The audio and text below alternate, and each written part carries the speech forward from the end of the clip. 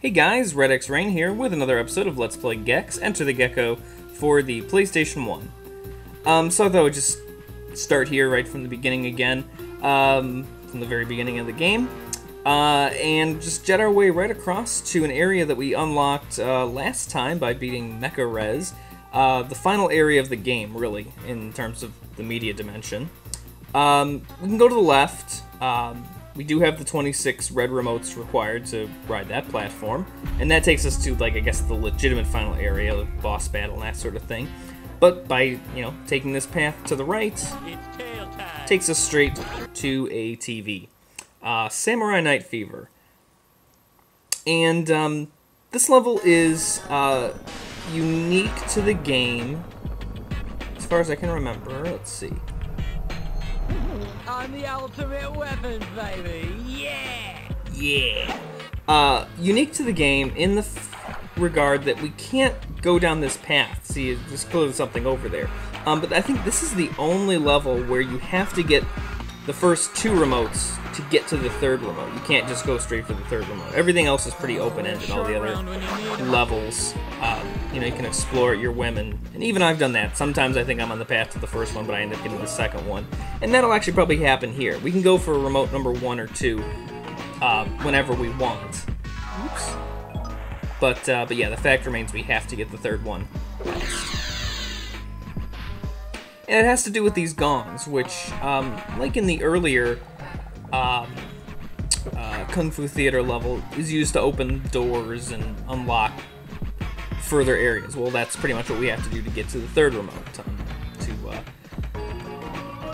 to raise the doors that are by that uh, by that big bridge. Um, this is uh, this is a pretty tricky level. We're seeing definitely. I mean, it makes sense. We're we're nearing the end of the game. Makes sense that they're making things, uh, you know, a little bit more difficult. Not only in regards to the platforming. The platforming's sort of tricky on this level, especially with all the spinning platforms like this. And uh, oops, oh, oh, whoo, saved by the tongue. Um, what almost happened there? As you can see, there's uh, a lot of uh, a lot of instant death here in this level.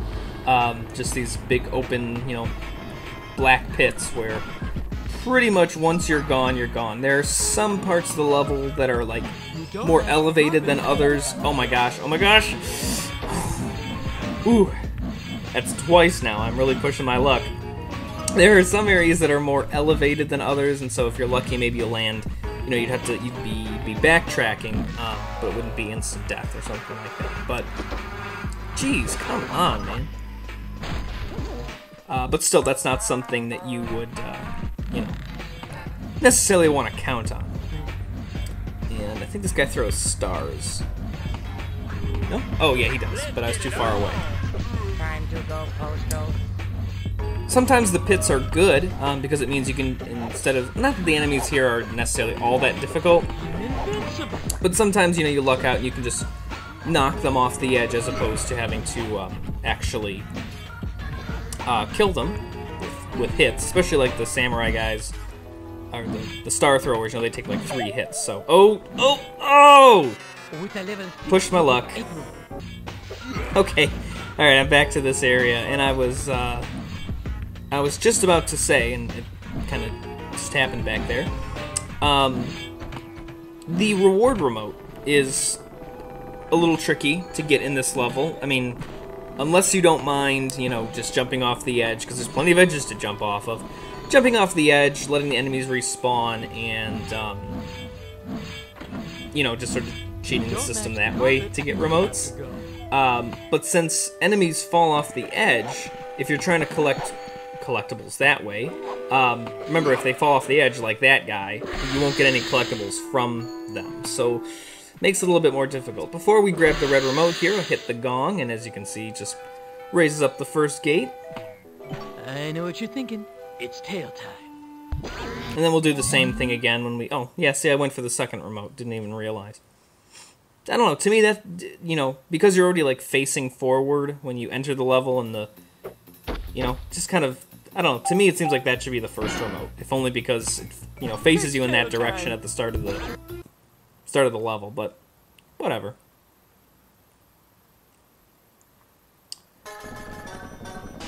Did I do the right one? I feel like that was the cutscene we just saw. Last time I was here, I was dressed as a woman. Yes! He's pretty excited about that. Hey, whatever floats your boat, Gex, that's cool. Um, I don't know if that was supposed to be a reference to something or not. Um, but success, we did not hit, I did not get hit by the dragonfly, so I can keep this green fly for my health. And so yes, the path we're going to take this time is the one that's actually directly behind us when we start the level. And this path, I think, is quite a bit easier than the other one. Less likely to um, uh, fall off of platforms and that kind of thing. Oh, system slow down. It's so sluggish. Okay. Uh, sometimes I make this jump.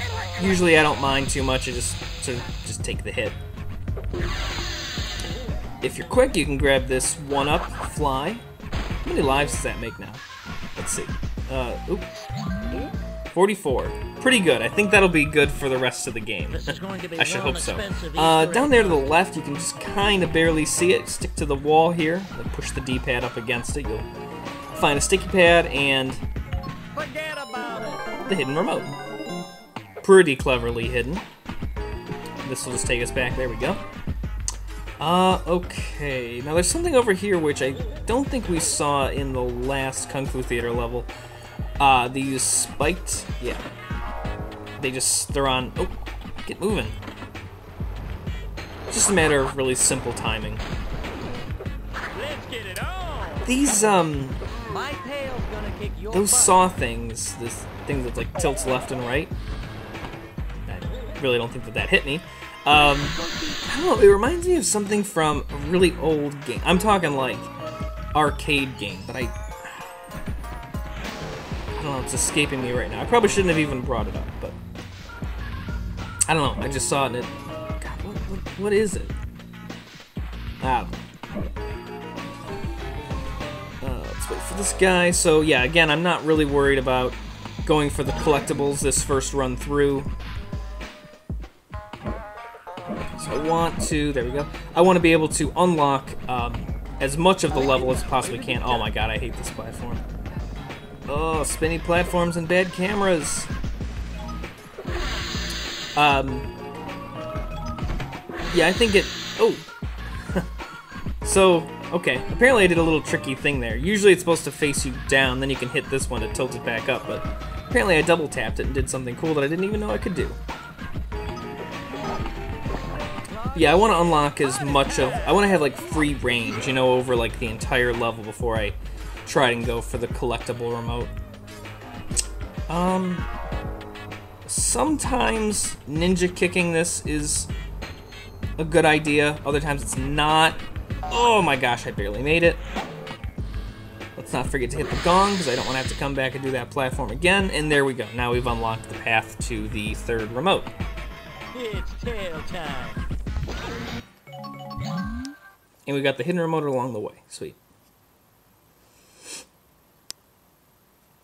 Um, and so I think what I'm gonna do is resume play. I'm gonna hop back in here. and What I'm gonna do is I'm gonna go ahead and I'm gonna basically take the two paths that you just saw me take. Just, but of course I'm not gonna get the red remotes. I'm just gonna be collecting collectibles along the way. Because this third path, there's definitely not enough.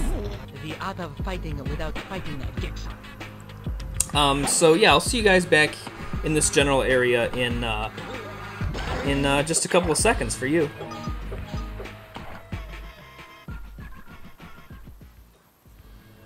All right, so taken on both of those previous paths, and now we can go go down this uh, brand new path. Having just gone through, how many do I have? 31, and I'm on the third one, so pretty good. Should be enough. This is a really tricky area because the swinging. Um, this you just gotta like believe. You just gotta commit to it. My biggest advice is to just go forward and then just keep going forward and jump. Because once you're on this one, the camera is unruly. It is terrible. So you kind of just gotta cross your fingers and hope that you make it. And eh, half the time you do. Alright, let's see if we can get some collectibles from this guy. Do not fall off the edge. Thank you.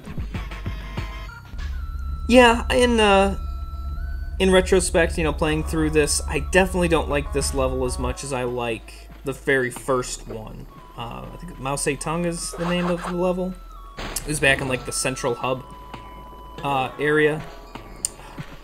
And there's like no way to get all three of those without falling on the lava. I don't think it's worth it. I'm doing pretty well as I just voluntarily jump onto it. But yeah, there's not as much environment interaction in this um, Kung Fu Theater level. There's a few vases just kind of sprinkled around. Oh gosh, come on. Um, that's what I loved about that first one, that first Kung Fu Theater. Oh, you bastard. See, he fell into the lava, now I can't get the collectibles. Let's not rush here, I only got one more thing of health. Uh, but yeah, not a whole lot of... Yeah, I love that first, uh, first Kung Fu Theater level. You break all the windows, and there's doors to break. This one, eh, it's more about just platforming and that kind of thing. But, what can you do?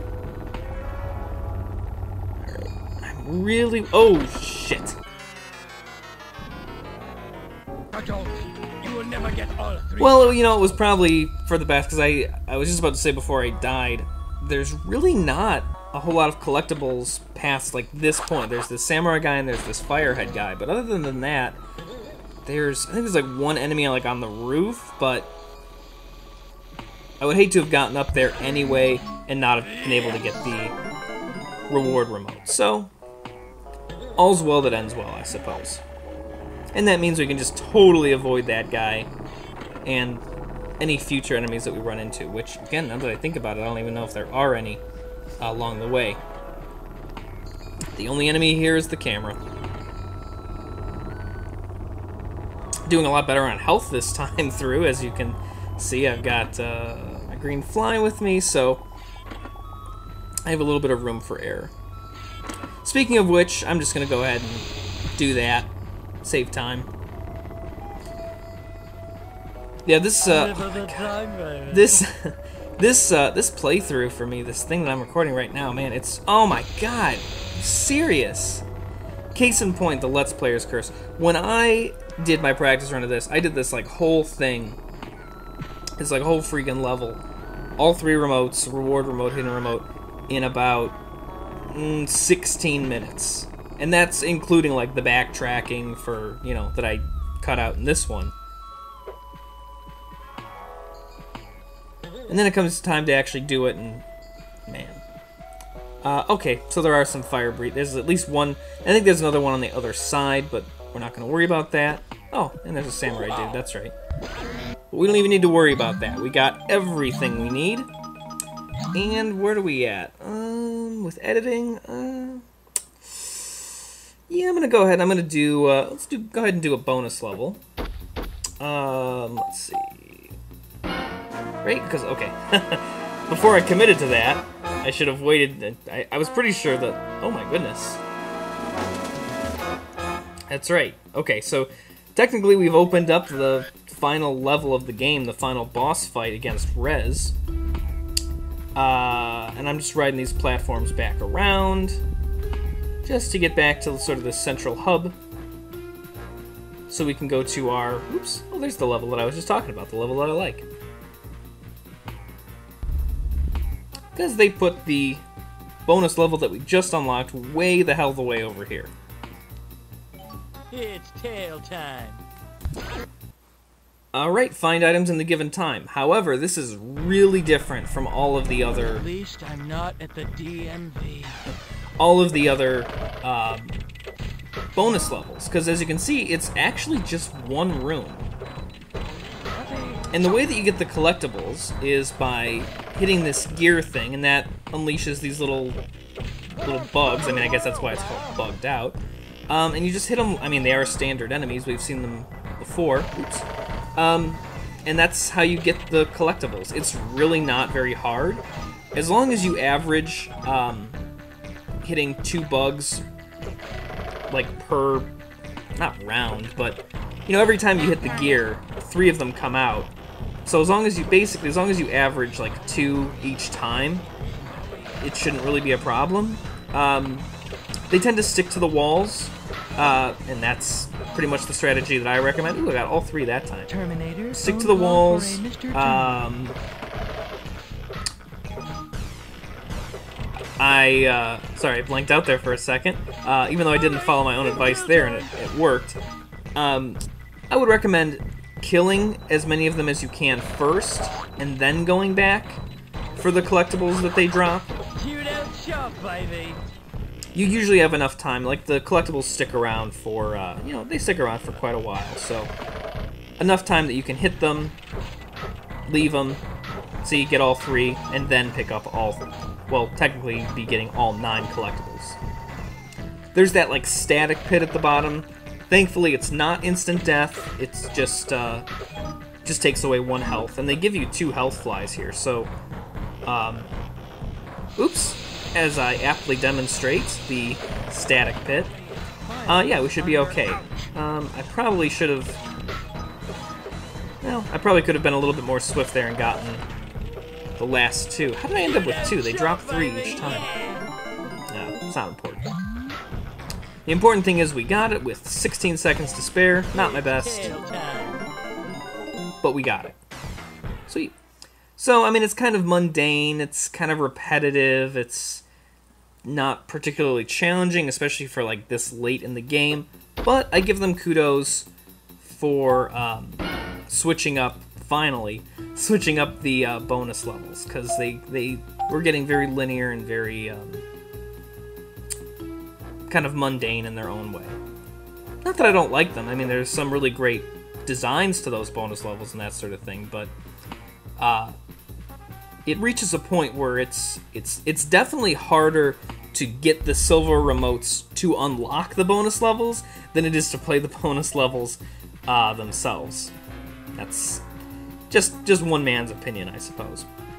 Um, but that'll definitely be enough for today. So I'm just gonna go ahead. I'm gonna ride this platform. Uh, well, kind of back to where we were. Here's the Kung Fu Theater level, and then we just got one more level over here.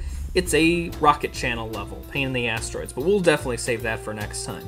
So as always, thanks for watching. Please like, please subscribe, and uh, please comment. Uh, I do always appreciate it. And uh, yeah, I'll see you guys next time as we take on uh, this uh, this rocket channel level. Okay, until then, bye.